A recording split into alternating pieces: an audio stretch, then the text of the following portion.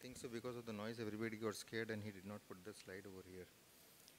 Well, uh, I'll just go uh, in brief of how I came up to this concept of uh, nice noise and stress concept. It so happened just about a few years back that I had a young 32 year old male coming to me with stroke and uh, he had uh, hypertension, his blood pressure was uh, 160, 90 and at the time of admission his blood pressure was somewhere around 180 and he had an infarct. Fortunately, he recovered very well. And uh, it so happened that uh, I continued treating him. He was very responsible, taking medications regularly, and I told him to take a break. I did not ask him his profession or anything because of the busy schedule or that day, the way we were working at that time.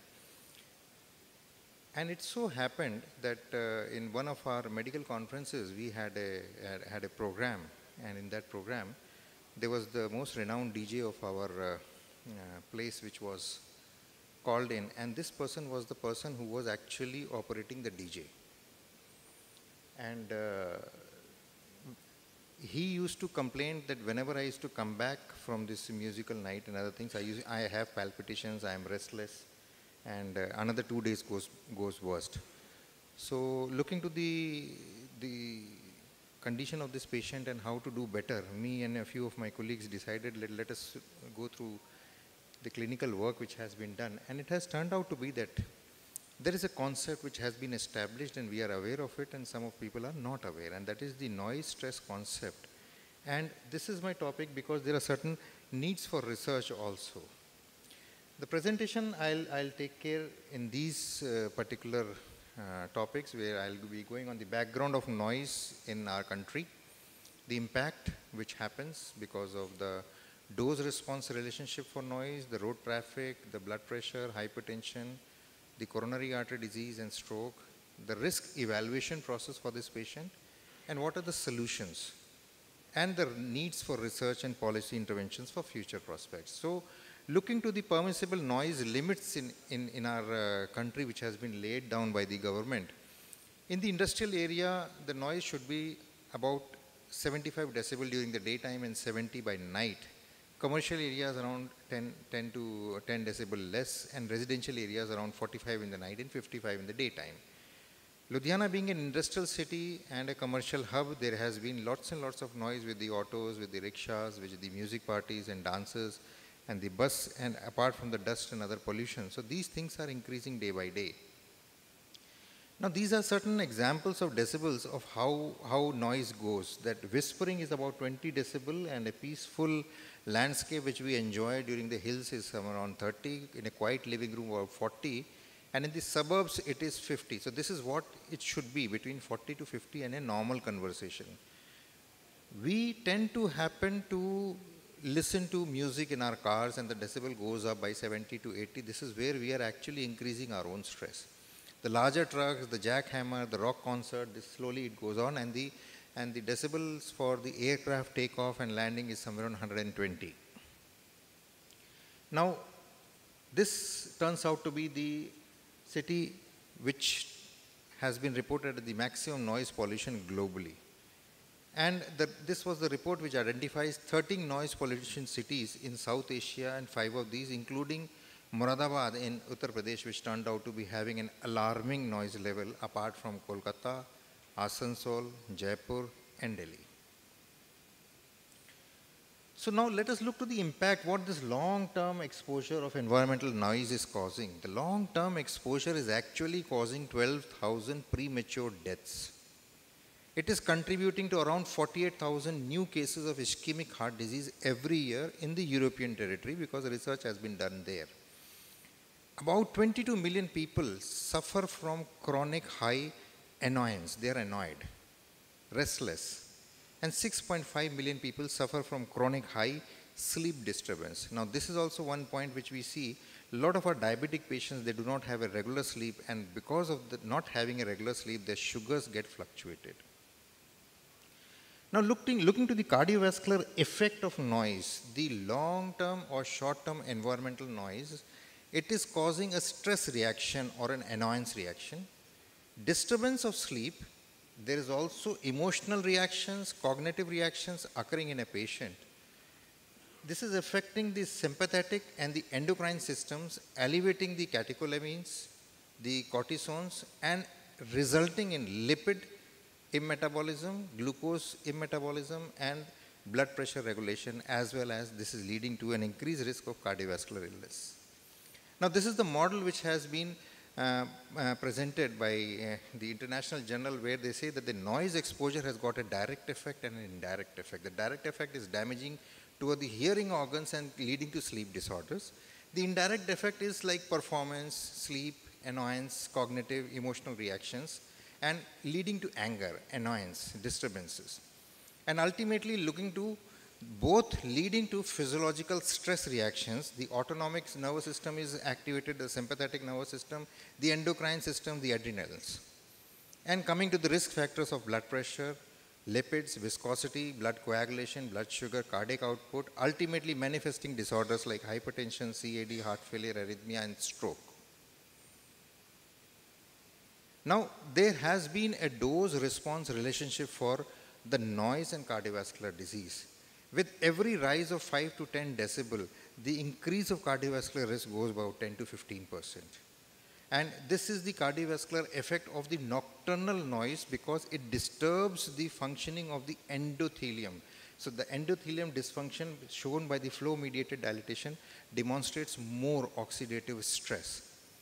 And, and this is how uh, things start deteriorating. Transport noise increases the maximum coronary risk. Exposure to both air pollution, transportation, this increases the maze and they are synergistically increasing the cardiovascular risk and metabolism and increasing the arterial inflammation. The inflammation is a disease for the diabetes, inflammation is a disease for hypertension, and inflammation of disease combined together causing coronary artery disease. Now, there was a meta-analysis which was done. 24 cross-sectional studies in relationship was, was studied and it was seen like decreasing 10 decibel or if you say a person has a constant exposure of more than 10 decibel of uh, noise for 16 hours, he has a stronger affinity to develop more of hypertension and more of uh, the complications of this. So there is no direct evidence linking noise and coronary artery disease, but many studies have said and shown that noise and coronary heart disease like hypertension, they show an indirect relationship. And the meta-analysis of the four cohort and one case control has shown this type of association. Now, noise and stroke. Um, exposure to residential noise traffic was associated with a higher risk of stroke and this was found when there were lots and lots of aircrafts landing in, in, in UK and so ultimately in Heathrow airport, they made it that they will not have any landings in the night. So that was the reason because lots and lots of population was getting disturbed because of this uh, noise pollution. And several studies within the last 10 years demonstrated a higher prevalence of annoyance, cardiovascular disease, or medication intake to persons exposed to aircraft noise. So these were the things which was taken by the UK government. They studied intensively and ultimately came to this conclusion. Now coming to the evaluation, like how do we evaluate the risk? First of all, we need to identify the hazard, what is causing the noise pollution, what is it comprising. Then the exposure assessment and the dose response assessment, like how can we decrease the dose and the exposure because working is also very important for a, for a person. Looking to the risk characterization and then coming to the management. Now, this is a chart which actually tells us for each day task noise, noise exposure, like if for every one hour we just add 5 decibels and the exposure from 79 which is the which is the maximum limit it starts going up. And as we add up the task the total exposure keeps going up. And ultimately if the exposure points or total exposure for the day turns out to be 280 points given a noise pollution exposure between 80 to 89 to 90 with just a slow or a small increase in the decibel size. So coming to the solutions, solutions of noise reduction turns out to be by physically removing the hazard, that is the elimination, which is not possible in industries. Substitution, yes, that is possible, replacing the hazard. Engineering controls, isolate patients from those hazards, change the, work the way people work, and protective equipment, which has to be provided. So the actions to reduce noise in this workplace for occupational hazard turns out to be the safety of the professionals who are working there.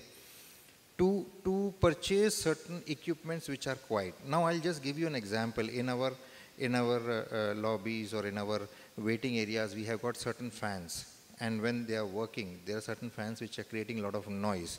And if you see there is an arrogance coming out, and if you see, you also get disturbed by that constant noise. If you are sitting in a car, if you are sitting in a aircraft, if you are sitting somewhere and suddenly you start experiencing a noise which continuously keeps on going, the irritation bug starts happening and this is what happens. You start feeling that tachycardia and ultimately some of the other problem develops. When we are listening to some loud music or a DJ music, initially the dopamine receptors, they work very nice because you're enjoying it, but ultimately the adrenal and the corticosteroid receptors start working and you start having tachycardia and ultimately the next day you land up with either gastritis or palpitations or some sort of a dizziness in the mind. So we need to reduce the vibrations as and where possible, isolate the noise source in an isolated room and exclosure and place a barrier. These are the things which has to be educated to our people who are having these factories. Isolate the employee from the source in a room or booth.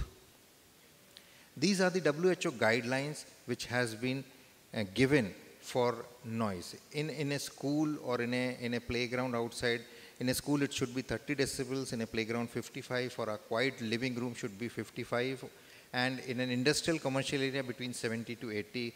For certain ceremonies, festivals, and entertainment events not, not more than 100 and the exposure should not be more than 2 hours and public addresses should be around 80 phones and when we are using our headphones we use it to a very higher level so we need to reduce it because you, you need to control your problems. So these are the research needs which has been identified. Um, the researchers did not attempt where the study had taken to account for the demographic and socio-economic or other health risk factors in their analysis and this is the point where we need to research more.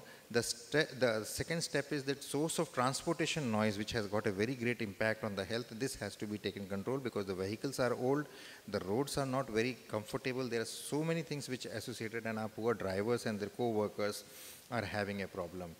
Policy intervention right from the small level, from the taluka level to the state level to the central level has to come up to reduce individuals' exposure to transportation noise at home and even in urban areas, better enforcement of noise ordinances, infrastructure to block road noise, rules for air traffic, low noise tires for vehicles, and better insulation for buildings. These should be the policy interventions. So in summaries, many cities of our country have recorded higher levels of noise pollution apart from the air pollution which is visualized.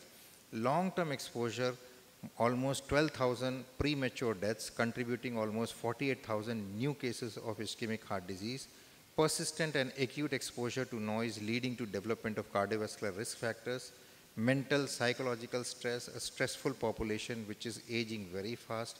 Further research is needed to tear apart the effects of this pollution, which is alarming, which we are ignoring, and policy intervention to decrease and give us a safe environment. Thank you all for your patient listening.